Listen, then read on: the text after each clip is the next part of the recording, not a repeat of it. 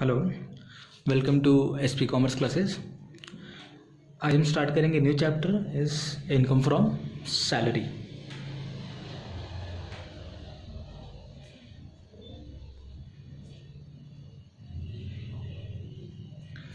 income from salary ना basically ये chapter income from salary के बेस पे है राइट है और जैसे मैं कंडीशन की बात करूँ तो अगर एक कंडीशन सेटिस्फाइड हो जाए तो वो इनकम फ्रॉम सैलरी के हेड में आ जाएगी। कोई भी इनकम हो बट उसके लिए एक कंडीशन सेटिस्फाइड होनी चाहिए। कंडीशन क्या? Any amount given by employer to employ is, comes under the head income from salary right employer ने एम्प्लॉय को कुछ भी दिया तो वो इनकम फ्रॉम सैलरी के हेड में आएगा राइट है? For example mister X Y limited में काम कर रहा है तो वाइल लिमिटेड ये एम्प्लॉयर है और ये एम्प्लॉई है। तो ये जो रिलेशन है, ये इनकम फ्रॉम सैलरी का है, क्योंकि इसको सैलरी मिल रही है। कहाँ से? वाई लिमिटेड से। तो ये इनकम फ्रॉम सैलरी है। एग्ज़ाम्पल नंबर टू लेते हैं। मिस्टर एक्स को सैलरी मिल रही है मान लीजिए एक्स वाई लिमिटेड से, और ये पार्टनरशिप फर्म है। पार्टनरशिप फर्म है। और मिस्टर एक्स वहाँ पर क्या है? पार्टनर है। अब देखिए, यहाँ पर भी इसको सैलरी मिल रही है, लेकिन ये सैलरी इनकम फ्रॉम सैलरी में नहीं आएगा। राइट है ना? क्यों? क्योंकि ये पार्टनरशिप फॉर्म में पार्टनर है, ना ही एम्प्लॉय इसके लिए ये इनकम फ्रॉम सैलरी का पार्ट नहीं है. सी थर्ड बात करते हैं. मिस्टर एक्स जो कि एमएलए है, इसको भी सैलरी मिल रही है. कहाँ से? गवर्नमेंट के पास से. राइट है ना? ये भी इनकम फ्रॉम सैलरी का पार्ट नहीं है, क्योंकि गवर्नमेंट उसका एम्प्लॉयर नहीं है. बात समझ में आ रही है? तो सबसे इंपॉर्टेंट चीज़ क्या है? एम्प्लॉयर और एम्प्लॉय का रिलेशन होना चाहिए तो ही वो इनकम फ्रॉम सैलरी होगा, वरना वो इनकम फ्रॉम सैलरी में नहीं आएगा। क्लियर है? नहीं। अब हम स्टार्ट करते हैं इनकम फ्रॉम सैलरी की थियरी राइट है? तो सबसे बड़ा चैप्टर अगर कुछ है तो ये इनकम फ्रॉम सैलरी है। राइट कुछ कोड वर्ड्स के थ्रू हम लोग ईजी वे में जाएँगे। राइट ना अब ये चैप्टर में हमें क्या क्या सीखना है? पहले वो देख लेते हैं। फिर उसके बाद हम एक एक करके इंडिविजुअली सीखेंगे सबको। पहला basic salary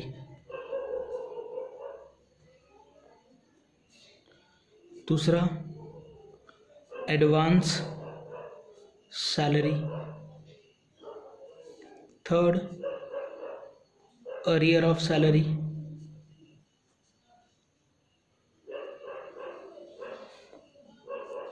bonus commission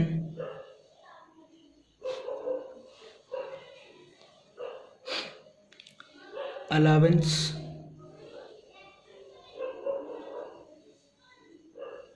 right perquisites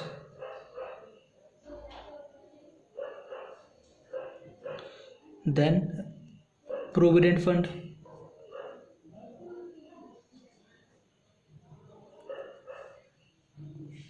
deduction under section sixteen और रिटायरमेंट बेनिफिट ठीक है ना? सो रिटायरमेंट बेनिफिट बहुत सारी चीज़ें आती हैं। अलावेंस में कुछ आती है पर्क्यूजेट्स में कुछ आती है राइट है ना? तो ना इतनी सारी चीज़ें हमें इनकम फ्रॉम सैलरी में सीखनी है राइट है? अब धीरे धीरे करके हम एक एक चीज़ को कवर करेंगे। एक बार थियरी हो जाएगी तो हम प्रैक्टिकल सम्स की तरफ़ चलेंगे ठीक है ना तो ना सबसे पहला basic salary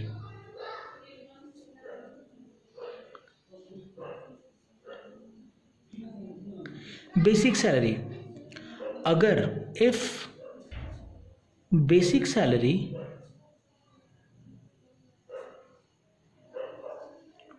is given in net. So,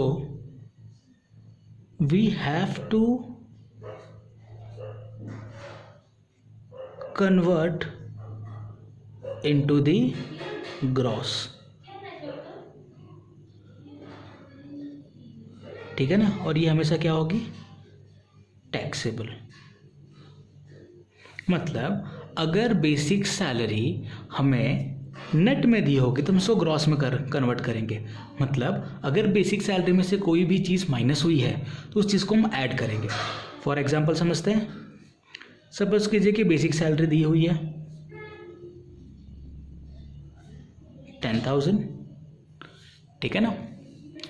इसमें से लेस हो चुका है हमारा पी एफ़ वन थाउज़ेंड इसमें से लेस हो गया हमारा होम लोन मान लीजिए होम लोन भी हमने लिया हुआ है। होम लोन का E M I two thousand तो हमारा आंसर आ गया सेवन थाउज़ेंड तो ये नेट है। तो हम जो इनकम फ्रॉम सैलरी में टैक्सेबल करेंगे, वो सेवन थाउज़ेंड को नहीं करेंगे। हम किसको करेंगे? टेन थाउज़ेंड को, क्योंकि वो हम ग्रॉस में चाहिए। तो हम लिखेंगे बेसिक सैलरी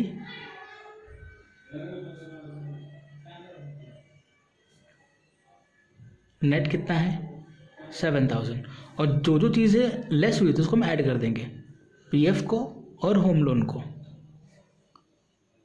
पीएफ मान लीजिए वन थाउज़ेंड है, दिया हुआ है और ये टू थाउज़ेंड तो ये आ गया टेन थाउज़ेंड इसको हम बोलेंगे ग्रॉस बेसिक सैलरी तो टैक्सेबल ये अमाउंट है, ना कि ये। क्लियर है? इसीलिए। तो if basic salary is given in net so we have to convert in to the gross ये हो गया आपका पहला बेसिक सैलरी तो बेसिकली बेसिक सैलरी क्या होता है? टैक्सेबल टैक्सेबल कब होगा? जब वो ग्रॉस में होगा. नेट में होगा तो ग्रॉस में कन्वर्ट करके फिर हम इसको टैक्सेबल करेंगे. लेकिन होगा क्या? टैक्सेबल चलिए. दूसरा आपका आ गया. एडवांस सैलरी तो एडवांस सैलरी का रूल क्या? अगर आपको रिसीप्ट हो गया मतलब रिसिप्ट है तो वो टैक्सेबल कर दो। और आपको वो रिसीवेबल है मतलब मिलेगा तो हम इग्नोर करेंगे। ठीक है ना? तो एडवांस सैलरी रिसिप्ट है तो टैक्सेबल रिसीवेबल है तो ignore third arrear of salary arrear of salary same चीज़, अगर वो आपको रिसीप्ट हो गई है तो टैक्सेबल करो। और अगर वो रिसीवेबल है तो इग्नोर करो। ठीक है ना? फिर आ गया फोर्थ आपका बोनस सेम चीज़, अगर बोनस रिसिप्ट है तो टैक्सेबल कर दो। और अगर वो रिसीवेबल है मतलब मिलने वाला है तो इग्नोर करो। जब तक नहीं मिलेगा, तब तक कोई टैक्स नहीं। क्लियर है? राइट हम आगे बढ़ते हैं। ये चार चीज़ समझ में आ गई। आगे बढ़ते हैं कमीशन की तरफ़। Fifth is commission commission receipt हो गई तो टैक्सेबल है। और अगर ये रिसीवेबल होगी तो भी ये टैक्सेबल है। मतलब कमीशन मिले या मिलेगा, दोनों केस में टैक्सेबल है। क्लियर है? तो ये हो गया आपका रिसिप्ट हम बात करते हैं अलावेंस की। राइट चलिए। सिक्स है ये हमारा अलावेंस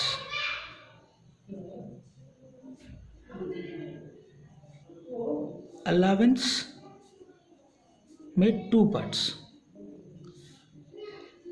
हमें जो अलावेंस मिलेगा, या तो वो हमारे ऑफ़िस पर्पस के लिए होगा,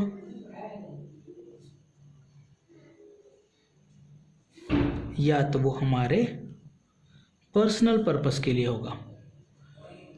एम्प्लॉय हमें दो चीज़ के लिए अलावेंस देता है. एक तो ऑफ़िस के लिए और दूसरा पर्सनल पर्पस के लिए.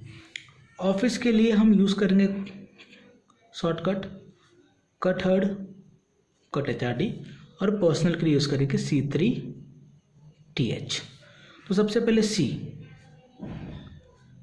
Conveyance allowance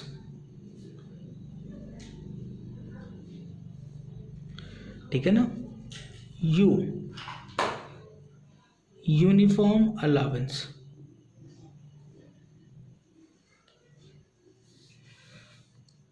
T traveling allowance. H. Helper allowance. R. Research allowance. And D. Daily allowance right है? ये सब के सब अलावेंस क्या होते हैं? एग्जेम्प्ट ये सब के सब अलावेंस क्या होते हैं? एग्जेम्प्ट राइट है? Under section ten sub section fourteen मतलब ये सब के सब अलावेंस क्या होंगे? एग्जेम्प्ट होंगे। Section ten sub section fourteen के हिसाब से। क्लियर है? अच्छा सर ये तो बताओ कितना एग्जेम्प्ट होगा? तो exempt is equal to amount spent मान लीजिए कि कन्वेंस अलावेंस आपको मिला है सौ रुपया। एम्प्लॉयर ने एम्प्लॉय कितना दिया? सौ रुपया। और आपने खर्चे किए नब्बे रुपये तो नब्बे रुपये एग्ज़ाम हो जाएँगे और दस रुपये क्या हो जाएँगे? टैक्सेबल क्लियर है? यूनिफॉर्म अलावेंस आपको मिले हज़ार रुपये आपने खर्चे किए आठ सौ रुपये दो सौ रुपये क्या हो जाएँगे? टैक्सेबल ये हो गया आपका ऑफ़िस पर्पस अब हम बात करते हैं पर्सनल पर्पस तो सबसे पहले सी कम्यूटेशन अलावेंस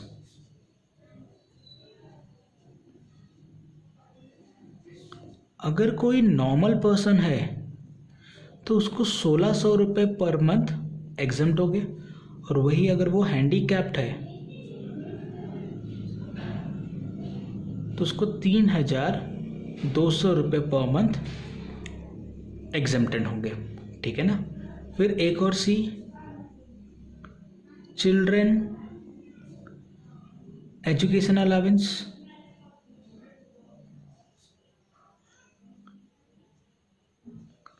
rules है maximum rupees hundred per month per child और maximum two child. Maximum hundred rupees per month per child, maximum two child. ज़्यादा ज़्यादा हम सौ रुपये तक एग्जामेशन दे सकते हो। ज़्यादा से ज़्यादा दो बच्चे, हम दो, हमारे दो।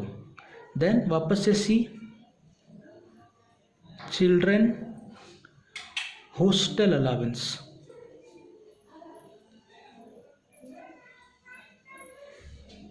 maximum rupees three hundred per month per child, maximum two child.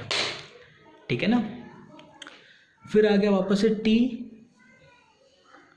Tribal area allowance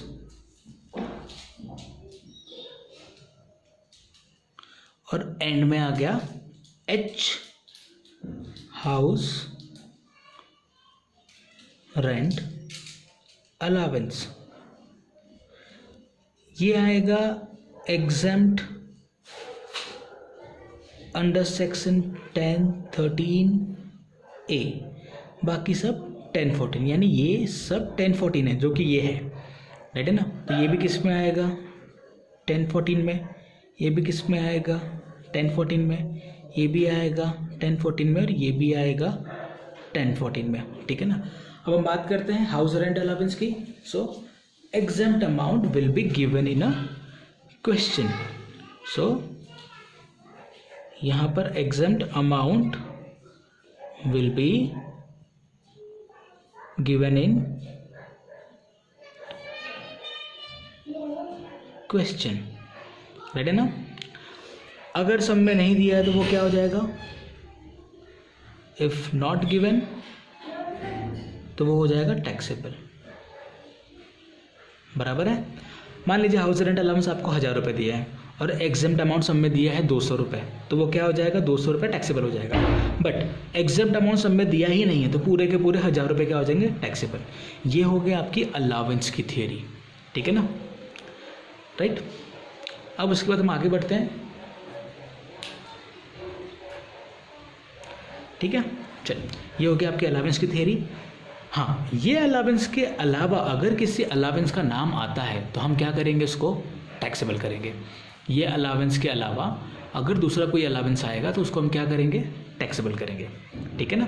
अभी तक हमने छः चीज़ें देख ली है। Basic salary advance arrear bonus commission और अलावेंस ठीक है ना?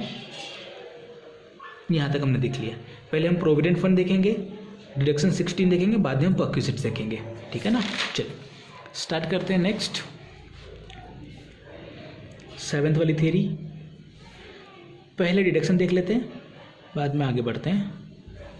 Deduction under section sixteen right तो डिडक्शन अंडर सेक्शन सिक्सटीन में हमारे पास तीन deductions sixteen one sixteen two और सिक्सटीन थ्री पहला था standard deduction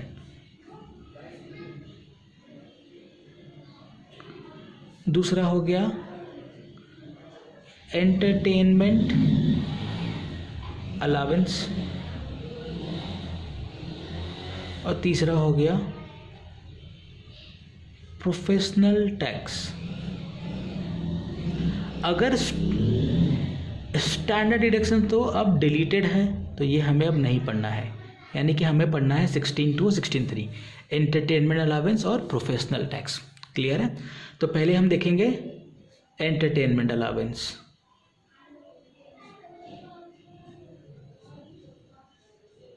entertainment allowance entertainment allowance में टू पार्ट्स पहला गवर्नमेंट एम्प्लॉय और दूसरा नॉन गवर्नमेंट एम्प्लॉय ठीक है ना? अगर गवर्नमेंट एम्प्लॉय है तो पहले उसको टैक्सेबल करो, फिर उसको डिडक्शन दो। वही अगर वो नॉन गवर्नमेंट है तो पहले उसको टैक्सेबल करो और उनको नो डिडक्शन ठीक है ना? अब अब हम समझते हैं डिडक्शन कितना। तो डिडक्शन के रूल्स क्या? Maximum rupees five thousand actual amount और one fifth into basic salary हमारी बेसिक सैलरी का वन फिफ्थ ये तीनों में जो कम होगा, उतने का हम डिडक्शन देंगे। ठीक है ना? सर समझ में नहीं आया? एग्ज़ाम्पल समझते हैं? फॉर एग्ज़ाम्पल सब में दिया है एंटरटेनमेंट अलावेंस एक हज़ार रुपये ठीक है ना? बेसिक सैलरी है आपका, मान लीजिए छः हज़ार रुपये ठीक है? चलिए, आप हैं पहले गवर्नमेंट एम्प्लॉय हम दोनों के लिए बात करते हैं। पहले गवर्नमेंट के लिए बात करेंगे और ये नॉन गवर्नमेंट के लिए। तो पहले हम क्या करेंगे? यहाँ पे दोनों जगह पे टैक्सेबल लिखा हुआ है। तो पहले हम लिखेंगे एंटरटेनमेंट अलावेंस हज़ार रुपये इसके लिए भी और इसके लिए भी एंटरटेनमेंट अलावेंस हज़ार रुपये ठीक है ना? फिर हम देंगे less deduction under section sixteen less deduction under section sixteen तो इसको तो कोई डिडक्शन नहीं तो इसके लिए हज़ार रुपये क्या हो जाएँगे? टैक्सेबल बट इसके लिए डिडक्शन गवर्नमेंट का है। तो गवर्नमेंट के रूल्स क्या थे?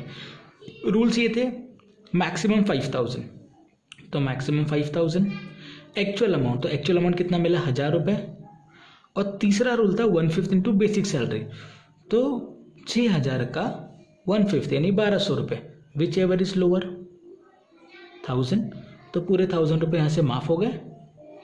और ये टैक्स भरेगा नील अमाउंट पे। क्लियर है? बात समझ में आई? तो ये हो गया आपका एंटरटेनमेंट अलावेंस की थियरी राइट तो ये तो जैसे एग्ज़ाम्पल था समझने के लिए। जब सम स्टार्ट करेंगे, तब इसको डीप में समझेंगे। फ़िलहाल हमें सिर्फ़ इतना याद रखना है entertainment allowance government non government government तो टैक्सेबल करो, फिर डिडक्शन दो। नॉन गवर्नमेंट तो टैक्सेबल करो नो डिडक्शन अच्छा डिडक्शन कितना? Maximum five thousand actual amount और one fifth to basic salary clear है? अभी चलते हैं हम इस पर एंटरटेनमेंट हो गया सिक्सटीन टू अब चलते हैं professional tax sixteen three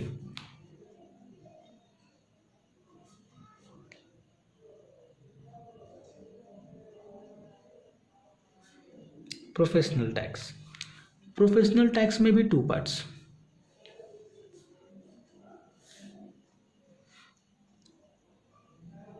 paid by employ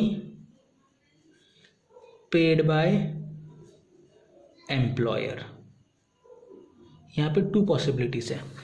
या तो एम्प्लॉय खुद पे करेगा, या तो उसका पैसा एम्प्लॉयर देगा।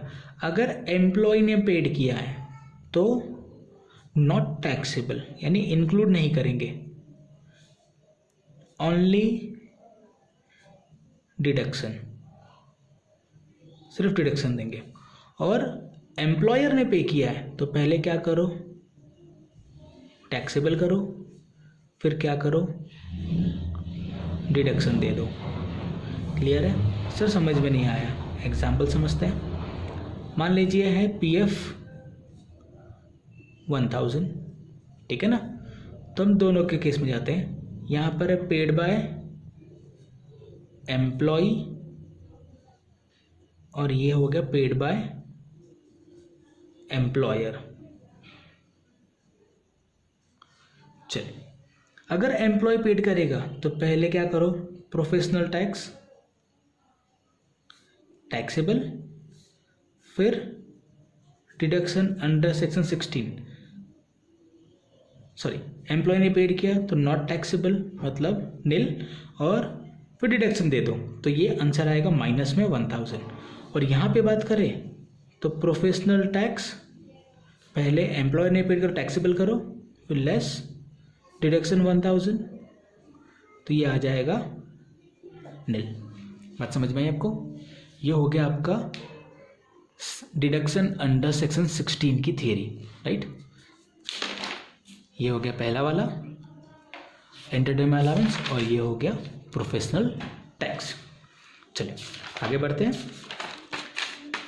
ये हो गया हमारा, ये हो गया, ये हो गया, ये भी हो गया, ये भी हो गया अलावेंस भी हो गया डिडक्शन हो गया। अब हम बात करेंगे प्रोविडेंट फंड की। एथ वाला हमारा प्रोविडेंट फंड।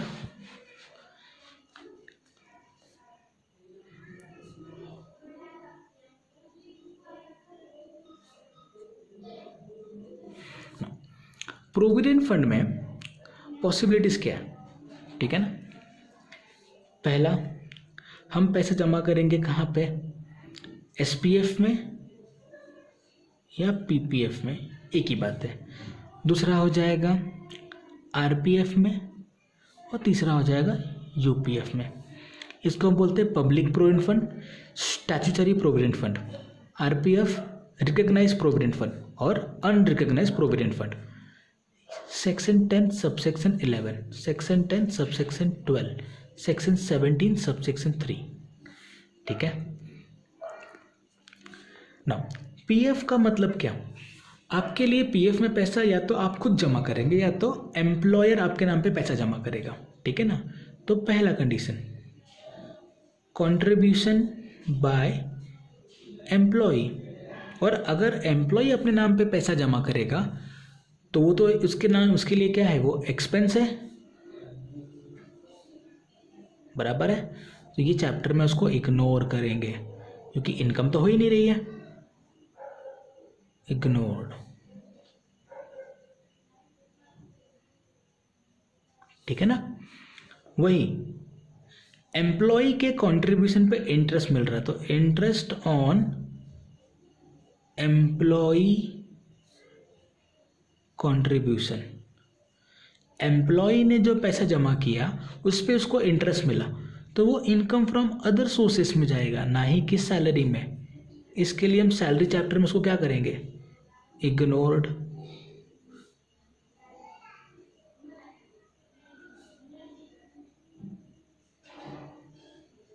ठीक है ना? देखिए, इनकम फ्रॉम सैलरी का एक ही रूल था कि एम्प्लॉयर से कुछ मिलेगा, तब हम टैक्सेबल करेंगे। तो ये पैसा पीएफ वाले दे रहे हैं, ना ही कि हमारा एम्प्लॉयर इसके लिए यहाँ पर ये इग्नोर हो गया। अब हम बात करते हैं कंट्रीब्यूशन बाय एम्प्लॉयर पैसा किसने जमा किया? एम्प्लॉयर ने, ठीक है ना? एम्प्लॉयर ने पैसा जमा किया और आपके नाम पे एसपीएफ में पैसा रखा तो वो एग्जाम्ड होगा। सेक्शन टेन सबसेक्शन इलेवन में। वही अगर वो आरपीएफ में पैसा जमा करेगा तो वो एग्जाम्ड होगा बट उसकी कुछ लिमिट है। कितना? ट्वेल्व परसेंट ऑफ़ किसका? Basic salary plus DA plus turnover commission basic salary plus DNS allowance plus turn commission इतना अमाउंट एक्सपेंस होगा। और यहाँ पर भी वो क्या होगा? एग्जाम्ट होगा। क्लियर है? यानी आरपीएफ की ये एक चीज़ आपको याद रखनी है पूरे प्रोविडेंट की थेरी में अभी तक फ़िलहाल। ठीक है ना? आगे बढ़ते हैं। Next interest on employer contribution employer के कंट्रीब्यूशन पे इंटरेस्ट मिला। तो ये हो जाएगा एग्जाम्ट ये भी हो जाएगा एग्जाम्ट बट कुछ रूल्स है। नाइन पॉइंट फाइव परसेंट ठीक है ना? जितना आपको इंटरेस्ट मिला, उसका नाइन पॉइंट फाइव परसेंट क्या हो जाएगा? एग्जेम्प्टेड मतलब जो भी अमाउंट आपने इन्वेस्टमेंट किया, उसका nine point five percent exempt होगा। और यहाँ पर भी ये एग्जेम्प्ट यानी ये दूसरी चीज़ आपको याद रखनी है। और एंड में जब ये पैसा आपको मिलेगा लमसम अमाउंट तो ये वाले केस में ये एग्जाम्ट है क्योंकि गवर्नमेंट के पास है। ये वाले केस में भी ये एग्जाम्ट है और यहाँ पर ये टैक्सेबल हो जाएगा। ठीक है ना? क्योंकि ये अनरिकग्नाइज प्रोविडेंट फंड है। तो इसका मतलब हो गया स्टैटूटरी प्रोविडेंट फंड या तो हम पब्लिक प्रोविडेंट फंड कहेंगे। आरपीएफ का मतलब रिकग्नाइज्ड प्रोविडेंट फंड और इसका मतलब अनरिकग्नाइज्ड प्रोविडेंट फंड क्लियर है? सो so, हमें याद क्या रखना है? सिर्फ़ ये दो चीज़। प्रोविडेंट फंड की थियरी में सैलरी चैप्टर में दो चीज़ याद रखनी है। कॉन्ट्रीब्यूशन बाय एम्प्लॉयर वो भी किसमें? आरपीएफ में। तो वो एग्ज़ाम होगा। और वही उस पर इंटरेस्ट मिलेगा तो वो एग्ज़ाम होगा नाइन पॉइंट फाइव परसेंट तक। क्लियर है? चलिए, आगे बढ़ते हैं। अभी तक हमारा प्रोविडेंट फंड हो गया। बच गए हैं दो चीज़ें पक्विजिट और रिटायरमेंट पहले हम कुछ सम्स कर लेंगे, उसके बाद हम पक्विजिट और रिटायरमेंट बेनिफिट पर जाएँगे। क्लियर है? नेक्स्ट लेक्चर में हम इसके कुछ सम्स देखेंगे, उसके बाद हम आगे की थ्योरी देखेंगे।